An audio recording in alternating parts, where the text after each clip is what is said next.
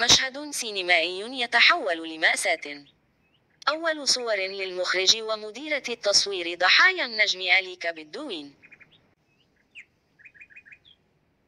أعلنت الشرطة الأمريكية أن الممثل أليك بلدوين أطلق أعيرة من سلاح خلبي صوتي أثناء تصوير فيلم western قرب مدينة سانتا في حادث أسفر عن مقتل مديرة تصوير الفيلم وإصابة المخرج بجروح. وقالت الشرطة في بيان إن مديرة التصوير هاليانا هاتشينز والمخرج جويل سوزا أصيبا بالرصاص عندما أطلق أليك بلدوين النار من سلاح صوتي في موقع تصوير فيلم Rust قرب مدينة سانتافي عاصمة ولاية نيو مكسيكو. وأوضح البيان أن المأساة نجمت عن سلاح نار يفترض به أن يكون صوتيا شيرا إلى أن المحققين يحاولون معرفة أي نوع من الرصاص أطلق وكيف أطلق.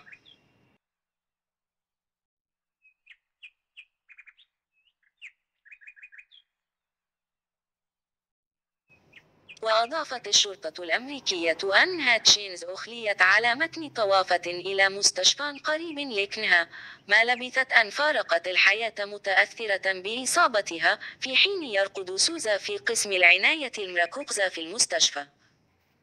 وفي السنوات الأخيرة طارت شهرة بلدوين 63 عاما في الولايات المتحدة بفضل تقليده المتقن لشخصية الرئيس السابق دونالد ترامب في برنامج Saturday Night Live الساخر الشهير.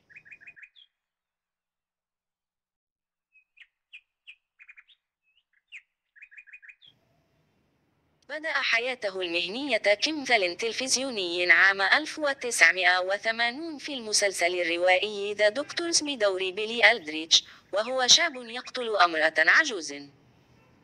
وقد تابع عمله في السلسلة حتى عام 1982.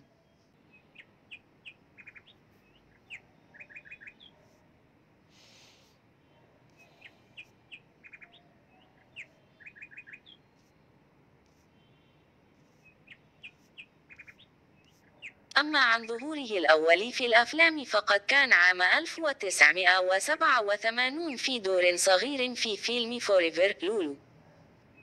كي يشارك في العام التالي في بعض الأدوار الصغيرة في أفلام Beetlejuice و Working Girl أخيرا لعب دور بطولة في فيلم The Hunt for Red October عام 1990 وتدور أحداث الفيلم في حقبة الحرب الباردة.